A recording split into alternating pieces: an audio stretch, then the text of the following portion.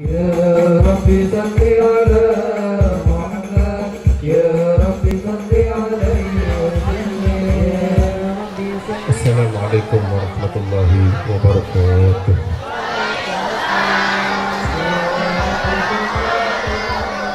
الحمد لله. الكبير المتعال. والصلاة والسلام على سيدنا محمد مولى بلال وعلى آله وصحبه خير صحبه وآله أما بعد الحمد لله para habaib, para kiai, para asatidah hadirin dan hadirat yang dimuliakan oleh Allah Subhanahu wa taala.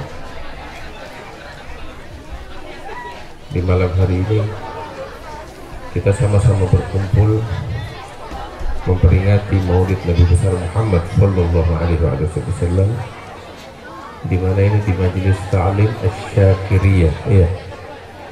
Di Majelis Ta'lim Asy-Syakiriyah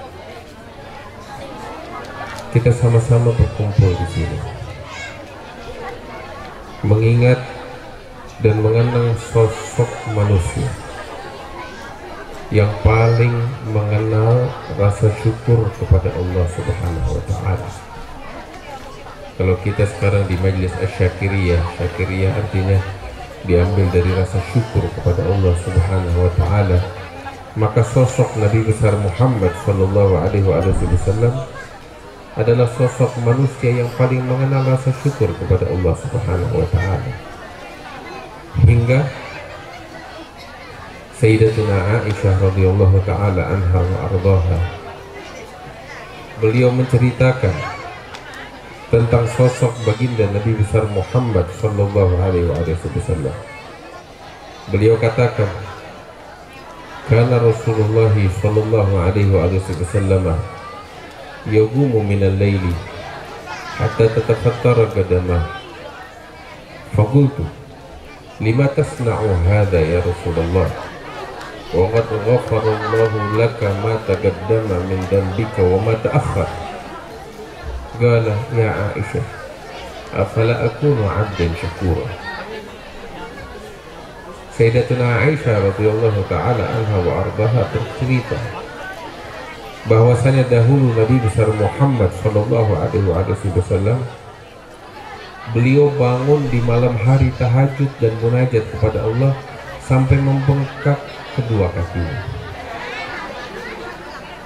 Maka Sayyidatuna Aisyah bilang, saya bertanya dan mengatakan kepada Rasulullah Wasallam, lima tasna'u hadha?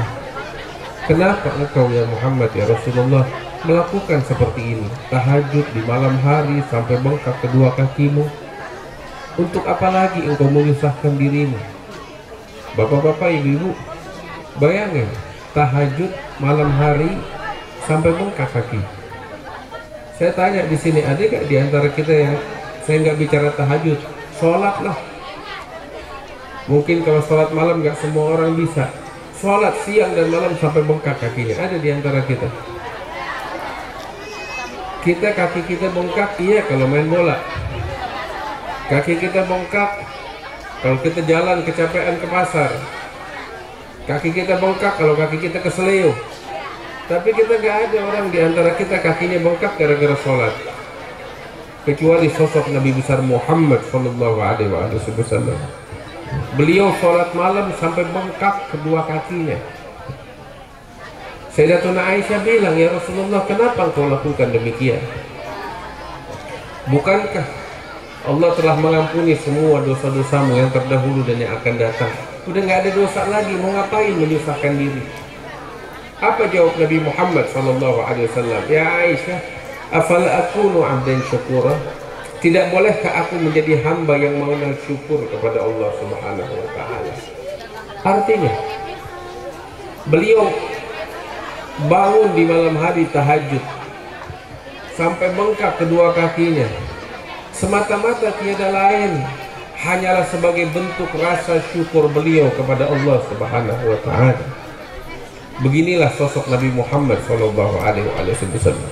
Harusnya Bapak-bapak, Ibu-ibu yang semacam ini bukan nabi, tapi kita yang berlumuran dosa, yang banyak melakukan kesalahan, kita melakukan ibadah semacam ini untuk menghapuskan dosa-dosa kita. Bukan Nabi yang udah dihapus dosanya oleh Allah Ta'ala suci dari dosa. Tapi kita yang berlumuran dosa harus melakukan demikian hadirin wal hadirat yang dimuliakan oleh Allah Subhanahu wa taala. Itu Nabi Shallallahu alaihi wasallam puasa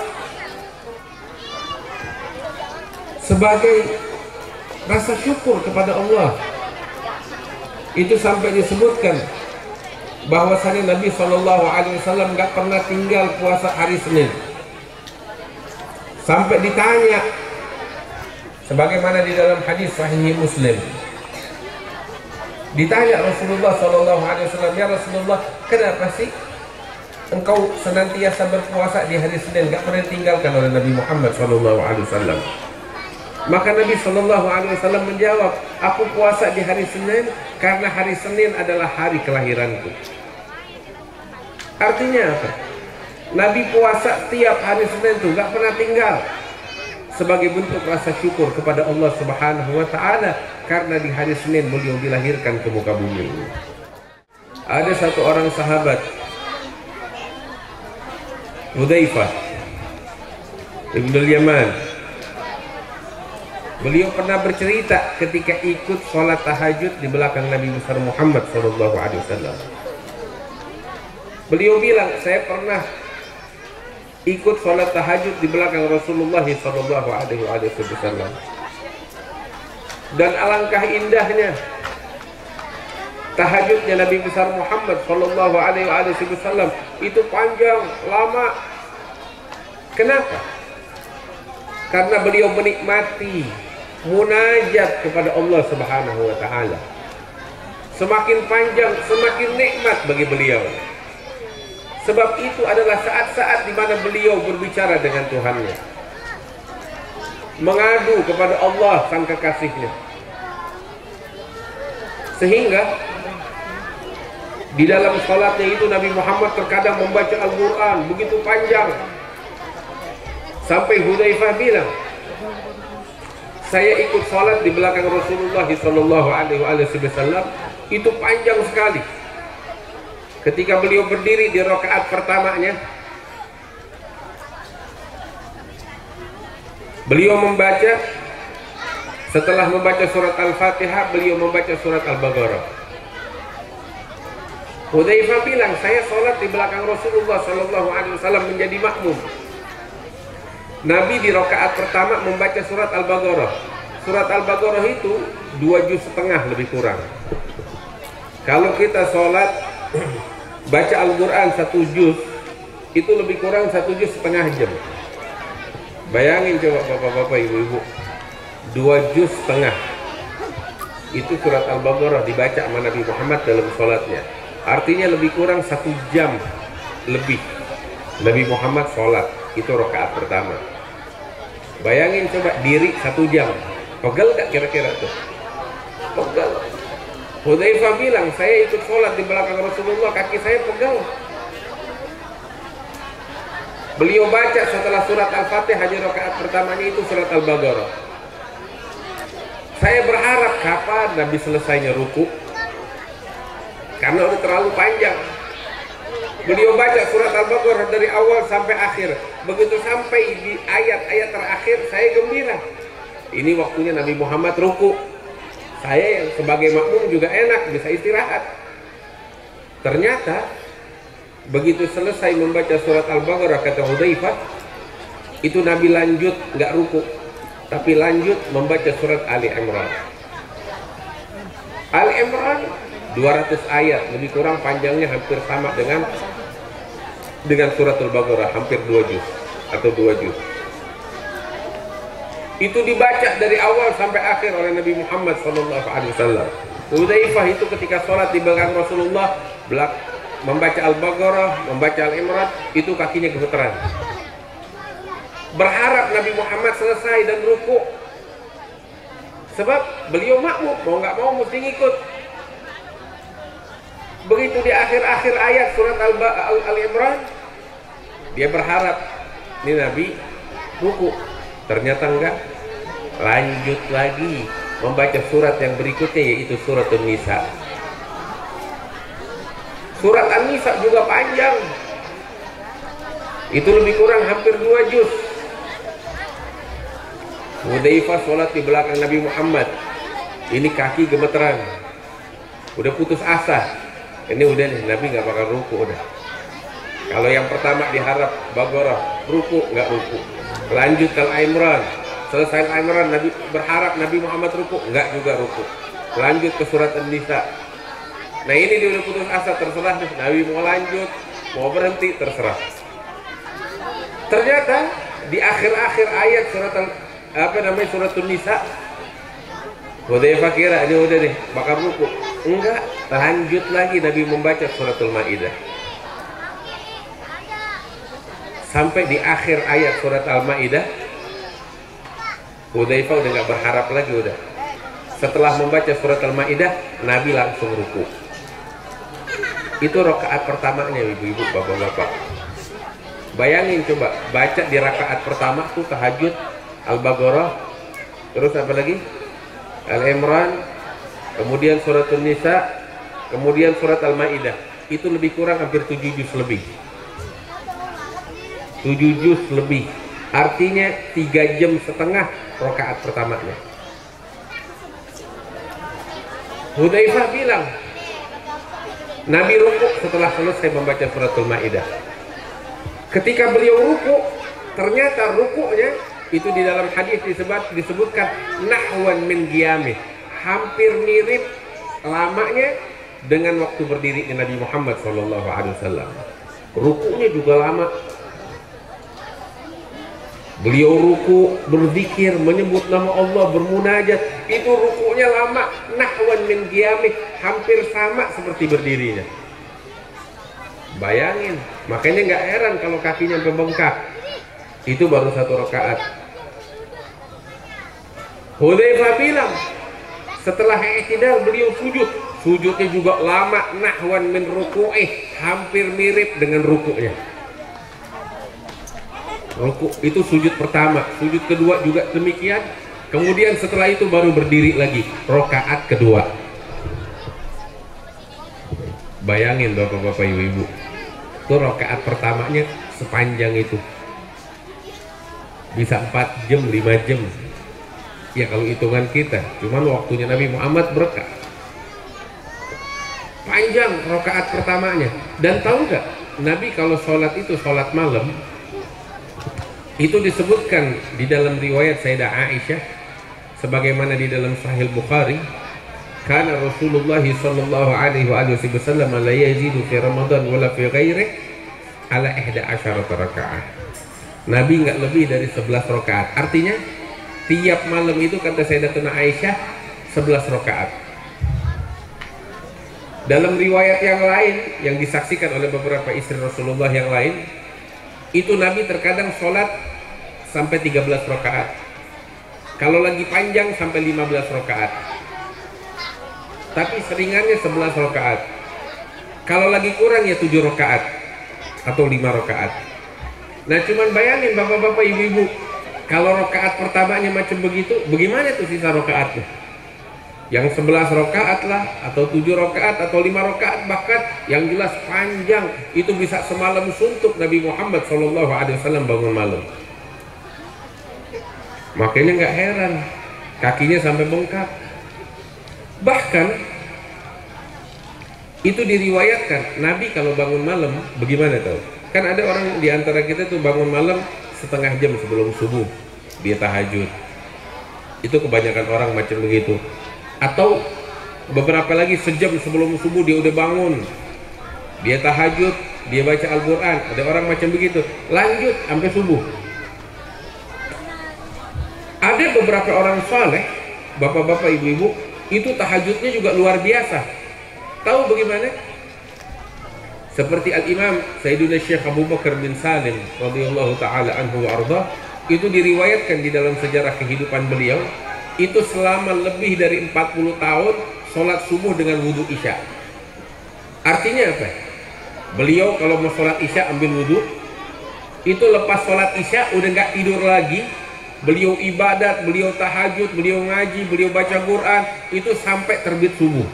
Jadi sholat subuhnya masih pakai wudhu punya sholat isya. Semalam suntuk nggak tidur hanya untuk munajat ibadah kepada Allah Subhanahu Wa Taala. Itu Sayyidina Syekh Abu Bakar bin Salim. Dan banyak beberapa aulia macam begitu dia mulainya tahajudnya. Tapi kalau Nabi Shallallahu Alaihi Wasallam tahu bagaimana? Lebih berat dari itu. Bagaimana? Itu diriwayatkan karena Shallallahu Alaihi Wasallam yanam fi awwali laylah, awwal laylah. Bangun atau Nabi Muhammad itu tidur lepas sholat isya. Kemudian di tengah malam beliau bangun tahajud. Itu panjang. Entar lebih kurang dua jam sebelum subuh, dua jam sebelum subuh Nabi tidur. Nanti kira-kira subuh tinggal setengah jam lagi Nabi bangun untuk tahajud lagi. Jadi tahajudnya semalam dua kali. Diselingin dua, dengan dua kali tidur. Itu kan yang berat kayak begitu. Lepas sholat isya tidur kemudian tengah malam bangun tahajud panjang. Habis itu tidur baru tidur sedikit bangun lagi. Untuk tahajud yang kedua sampai subuh. Nah ini katanya Nabi nih yang begini ini afdolnya tahajud. Kenapa? sebab berat banget terhadap diri kita sendiri. Kalau yang sepanjang malam udah biasa orang orang kalau udah biasa begadang nggak berat. Tapi yang macam begini nih nggak ada kebiasaan. Ya baru nikmatin tidur udah bangun.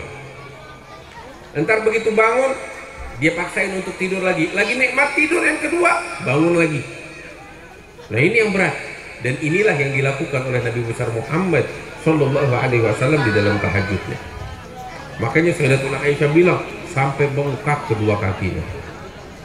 Itu di, di, di, digambarkan oleh Imam Abdurrahman bin Abdullah Al-Faqih tentang sosok Nabi Muhammad sallallahu alaihi wasallam wa huwa bihaqi syukri ma aulahu idh qama hatta warimat rijlahu wa wasala sawma wa qad aulahu maulahu aulal fadli wal ifdali itu bangun malam sampai bengkak kakinya. Puasa nggak berhenti berhenti Rasul Shallallahu Alaihi Wasallam. Itu semua beliau lakukan sebagai ungkapan rasa syukurnya kepada Allah Subhanahu Wa Taala. Itu pernah setelah wafatnya Nabi Muhammad Shallallahu Alaihi Wasallam datang salah seorang kepada Sayyidatuna Aisyah. Itu waktu orang tersebut namanya Urwah ibnu Zubair. Keponakannya Sayyidatuna Aisyah dia bertanya kepada Sayyidah Aisyah ya ummah wahai ibu kami sebab istri-istrinya Rasulullah itu bagi kaum mukminin bagaikan ibu. Allah Ta'ala mengatakan wa azwajuhu ummahatuhum. Wahai ibu kami ceritakanlah kepada kami tentang hal yang paling istimewa yang paling berkesan yang engkau alami bersama Nabi Muhammad Shallallahu Alaihi Wasallam. Sayyidatuna Aisyah ketika ditanya demikian, ternyata pertanyaan itu menggugah, membuat Sayyidatuna Aisyah itu menangis terharu. Menangis Sayyidatuna Aisyah mendengar pertanyaan itu. Hingga itu wajahnya basah, pakaiannya apa namanya kerudungannya itu basah karena air mata menangis Sayyidatuna Aisyah. Setelah beliau menangis beliau mengatakan kepada orang yang nanya ini wahai anakku engkau bertanya kepadaku apa yang paling indah yang paling berkesan yang paling istimewa dari apa yang aku lalui bersama Nabi Muhammad SAW wahai anakku semua yang aku lalui bersama Rasulullah semuanya indah dan berkesan. Kalau engkau tanya yang paling istimewa semuanya yang paling istimewa. Apa lagi? Mau dibilang ini lebih berkesan dari yang lain? Tidak semuanya paling berkesan. Semuanya paling indah. Bagaimana tidak? Dengan Rasulullah Shallallahu Sebab bapak-bapak, ibu-ibu, ini Nabi Muhammad Wasallam orang yang paling istimewa, yang paling mudah, paling gampang. Itu Sayyidatuna Aisyah punya banyak kenangan manis dengan Rasulullah Shallallahu Alaihi Wasallam. Nabi Muhammad seorang nabi yang agung, pemimpin yang mulia, tetapi beliau akhlaknya mulia. Begitu rendah hati kepada siapa pun. Kepada istrinya, waduh, luar biasa baiknya, akhlaknya. Itu Sayyidatuna Aisyah pernah cerita, pernah saya dengan Rasulullah Shallallahu Alaihi Wasallam itu di dalam kehidupan saya, Nabi Nabi balapan lari dengan istrinya. Saking sayangnya Nabi, saking mulianya akhlaknya Nabi kepada istrinya. Itu Sayyidatuna Aisyah cerita. Dulu kata Sayyidatuna Aisyah, ketika saya masih baru menikah dengan Rasulullah Shallallahu Alaihi Wasallam, kata Sayyidatuna Aisyah, itu waktu Aisyah bilang saya masih langsing, saya masih langsing kata Sayyidatuna Aisyah, baru menikah. Pernah sekali kami keluar bersama Nabi Muhammad Wasallam bersama para sahabat untuk berdakwah menyebarkan agama Allah berjuang di medan perang. Pulang dari perjalanan, udah dekat dari kota Medina, ini kan padang pasir, rombongan sama sahabat. Nabi bilang sama sahabat-sahabatnya, kalian berangkat duluan masuk ke kota Medina. Aku di sini dulu dengan istriku kata Rasul Shallallahu Alaihi Wasallam. Karena kota Madinah udah dekat, para sahabat berangkat duluan. Tinggal Nabi itu di tengah padang pasir di perjalanan bersama istrinya Sayyidatuna Aisyah berdua. Mereka rombongan pasukan udah berangkat duluan, udah pulang duluan.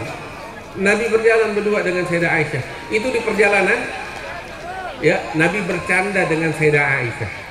Dalam candaannya itu Nabi mengajak balapan lari dengan dengan istrinya.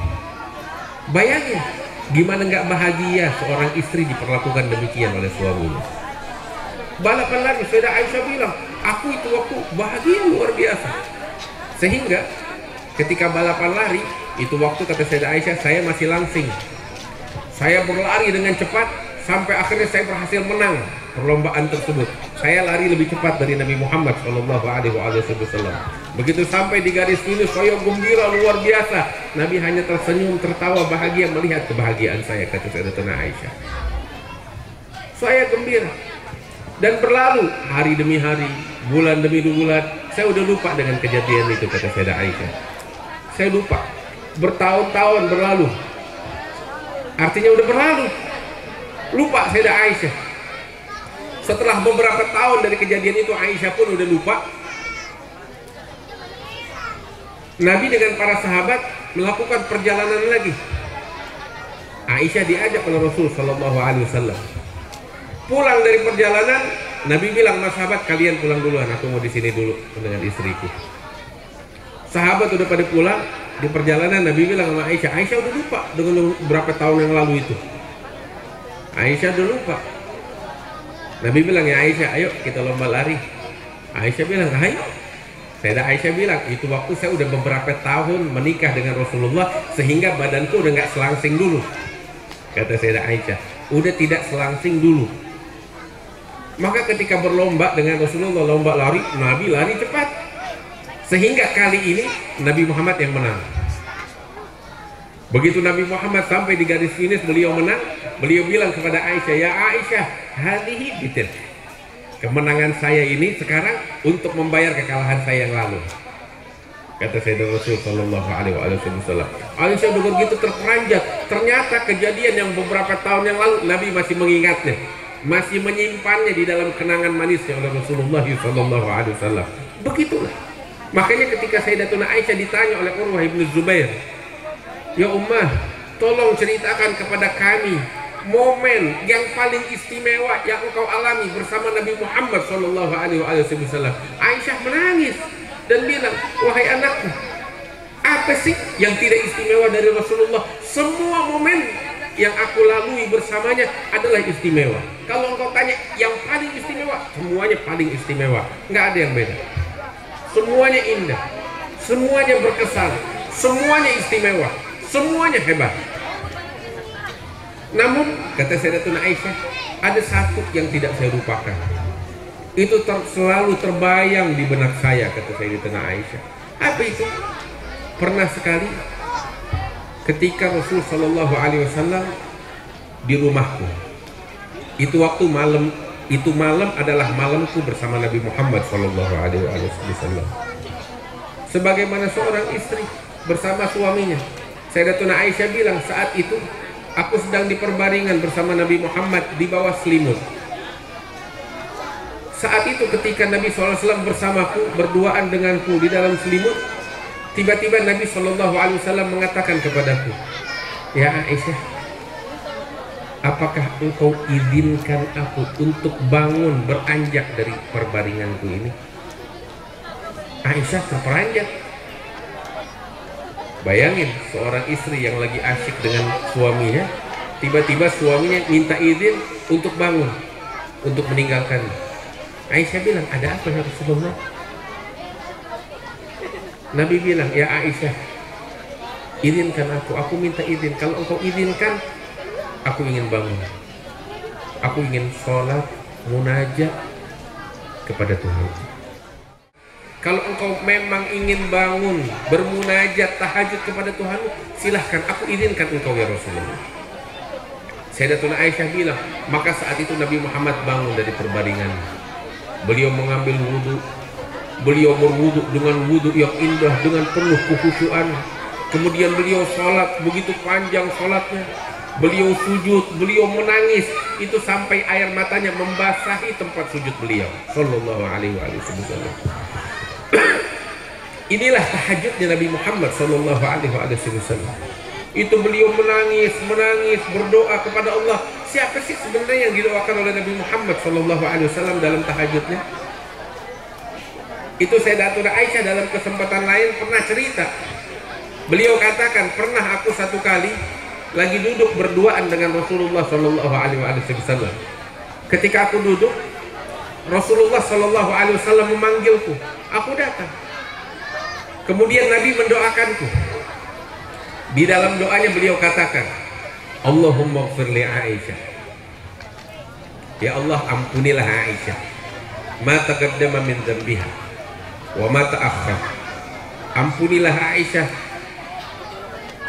segala dosa-dosanya yang terdahulu yang akan datang yang nampak ataupun yang tidak nampak dari dosanya yang terang-terangan atau yang rahasia yang disengaja atau yang tidak disengaja ampunilah semua dosa Aisyah semuanya ya Allah bayangin bapak-bapak ibu-ibu kalau ada orang di antara kita didoain sama Nabi kayak begitu senang nggak kira-kira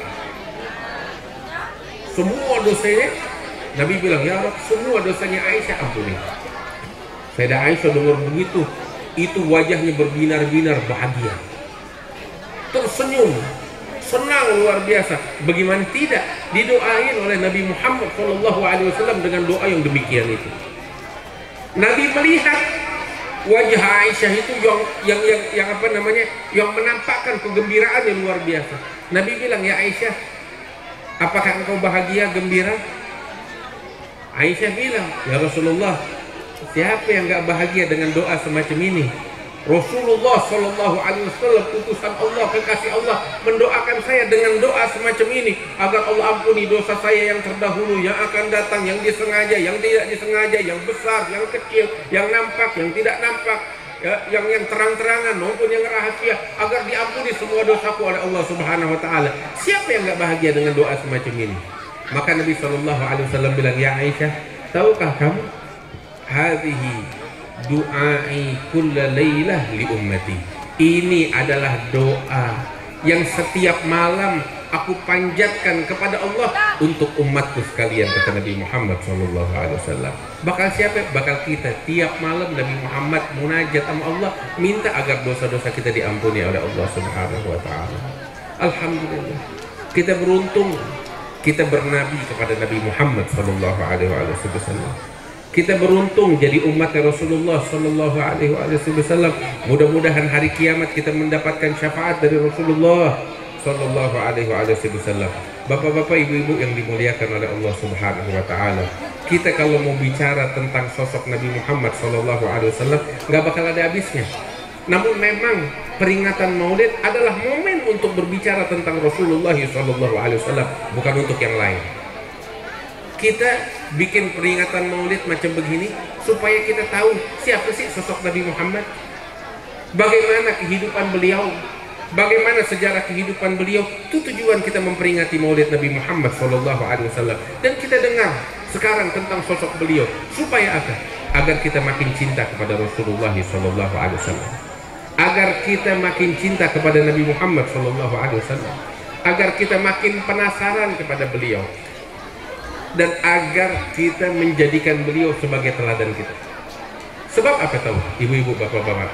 Allah Taala bilang di dalam Al-Qur'an, "Laqad kana lakum fi Rasulillahi uswatun hasanah." Sesungguhnya pada pribadi Rasulullah SAW terdapat suri tauladan yang terbaik bagi kita sekalian.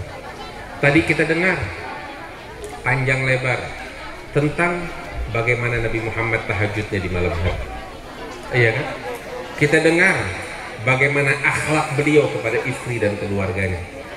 Bagaimana beliau kepada umatnya, perhatian beliau, kasih sayang beliau kepada umatnya. Ini tiga poin penting yang bisa kita bawa pulang ke rumah kita dari peringatan Maulid di malam hari ini. Bagaimana? Ayo kita biasain bangun malam tahajud Nabi tahajud di malam hari. Masa kita umatnya malam hari sibuk nonton televisi aja? Kita bisa bangun untuk nonton bola. Iya kan? Tapi coba biasain biar kita bisa bangun untuk tahajud munajat kepada Allah Subhanahu wa taala. Orang yang punya hajat di antara kita sama Allah, ambil kabar. Di akhir malam doa-doa diijabah oleh Allah Subhanahu wa taala. Itu di dalam hadis sahih yang diriwayatkan oleh Imam Bukhari wa Muslim fi sahihaihima dari sahabat Abi Hurairah radhiyallahu taala anhu wa Rasulullah sallallahu alaihi wasallam beliau bersabda yanzilu rabbuna ila sama'id dunya hina yabqa thuluth al-akhir min al-layl fayunadi hal min mustaghfirin fa aghfiru wa hal min da'in fa astajibu du'a'ah Wahal min sa'ilin fa'u'ti Itu Nabi Shallallahu Alaihi Wasallam mengatakan bahwasanya Allah Subhanahu Wa Taala saat malam tinggal sepertiganya, yakni di akhir malam, itu berseru kepada sekalian hambanya dengan seruan yang berbunyi, wahai para hambaku sekalian, apakah ada di antara kalian yang berdoa, aku kabulkan doa-doanya kata Allah Taala. Apakah ada di antara kalian yang memohon pengampunan, aku ampuni dosa-dosanya. Apakah ada di antara kalian wahai hambaku yang meminta kepadaku permintaan, aku penuhi segala permintaannya kata Allah Subhanahu wa taala. Itu tiap malam diserukan oleh Allah taala di akhir malam. Tatkala malam tinggal sepertiganya. Nah, kita sekarang banyak mengeluh, kita punya problem, kita punya masalah, kita punya urusan yang nggak selesai-selesai. Kita pengen selesai itu permasalahan. Kita datang kepada ulama kepada kiai kepada habaib minta doa. Ambil kabar. Itu saat yang terbaik diijabah doa oleh Allah Ta'ala di saat semacam itu. Siapa sih di antara kita yang udah kaya nggak perlu sama Allah. Ada di antara kita yang nggak butuh sama Allah. Tunjuk tangan coba. Udah kaya. Siapa? Nggak ada kita semuanya fugara di hadapan Allah Subhanahu wa taala. Dan minta sama Allah biasain bangun di malam hari walaupun hanya 10 menit sebelum subuh. Bangun sholat dua rakaat. Kita angkat tangan kita kepada Allah munajat kepada Allah. Sebagaimana dahulu sosok Nabi besar Muhammad sallallahu alaihi wasallam. Allah taala menyatakan di dalam Al-Qur'an tentang sosok Rasulullah. Ya ayyuhal muzammil qumil laila illa qalila nisfahu aw inqus minhu qalila auzid alaihi warattilil qur'ana tartila inna sanulqi alayka qawlan thaqil. inna nashi'atal layli hi ashaddu wat'an wa aqwamu qila inna laka fin nahari sabhan tawila itu Allah Subhanahu wa taala menyebutkan di dalam Al-Qur'an tentang sosok Nabi Muhammad bagaimana diperintahkan oleh Allah Ta'ala untuk bangun di malam hari munajat kepada Allah Subhanahu Wa Ta'ala dan kita di, dihimbau, diajak oleh Allah Ta'ala untuk mendapatkan kemuliaan tersebut. Inna rabbaka ya'lamu annaka tagumu adna min thulutsay al-layli wa nisfahu wa thuluthahu wa ta'ifatun min alladhina min alladhina ma'amanu ma'ah. Itu Allah Ta'ala mengatakan Allah tahu betul siapa dari mereka hambamu yang ikut bangun malam bersamamu ya Muhammad Orang yang bangun malam dapat perhatian besar dari Allah Subhanahu wa taala dan doa-doanya diijabah oleh Allah Subhanahu wa taala. Kita mau dari peringatan Maulid yang kita hadiri bawa pulang nih. Biasain tahajud di malam hari. Saya nggak bicara tentang sholat lima waktu. Kalau sholat lima waktu mah memalukan orang hadir Maulid nggak sembahyang lima waktu. Ini udah kewajiban kita yang namanya sholat lima waktu. Jangan kita tinggalkan. Tetapi lebih dari itu kita yang hadir maulid, yang cinta kepada Rasulullah Sallallahu Alaihi Wasallam, tahajud jangan tinggal. Dulu Nabi Muhammad semacam itu. Terus bagaimana perhatian beliau kepada keluarga, kasih sayang beliau kepada istrinya, kepada anak-anaknya. Ini juga patut kita teladani. Kita bagaimana dengan keluarga kita? Kita bagaimana dengan anak-anak kita? Kita harus didik mereka dengan didikan yang terbaik yang diajarkan oleh Nabi besar Muhammad SAW. Ibu-ibu sekalian, dengan suaminya, dengan bapak-bapak, saling bahu membahu untuk mewujudkan rumah tangga yang bertakwa kepada Allah Subhanahu wa taala sebagaimana dahulu Nabi Muhammad wasallam mencontohkan kepada kita sekalian. Sebab kebahagiaan Bapak-bapak, Ibu-ibu di dalam rumah tangga tidak akan pernah diraih dengan harta, dengan uang, dengan rumah yang mewah, dengan kedudukan tidak akan tetapi kebahagiaan hanya dapat diraih bagi mereka untuk mereka orang-orang yang hatinya penuh dengan Allah yang hatinya penuh dengan kecintaan kepada Allah kecintaan kepada Rasulullah hanya untuk mereka orang-orang yang bertakwa kepada Allah Subhanahu wa taala. Mudah-mudahan kita dijadikan oleh Allah taala sebagai orang-orang yang bertakwa kepada Allah Subhanahu wa taala. Hadirin wal hadirat yang dimuliakan oleh Allah Subhanahu wa taala, dari peringatan Maulid yang kita hadiri ini, ayo sama-sama kita teladani Nabi Muhammad SAW. Jadikan diri kita sebagai orang-orang yang cinta sejati kepada Rasulullah SAW. Insya Allah kita akan mendapatkan keberkahan dari Allah Subhanahu Wa Taala di malam hari yang mulia ini. Insya Allah semua dosa-dosa kita diampuni oleh Allah Subhanahu Wa Taala dan doa-doa kita insya Allah semuanya diijabah oleh Allah Subhanahu Wa Taala dijadikan insya Allah kita sebagai orang-orang yang bertakwa kepada Allah Subhanahu Wa Taala. Dimuliakan kita oleh Allah Subhanahu wa taala. Sebagaimana di malam hari ini kita memperingati Maulid Nabi Muhammad sallallahu alaihi wasallam dimuliakan oleh Allah kita semua bisa berziarah ke makam Nabi Muhammad sallallahu alaihi wasallam.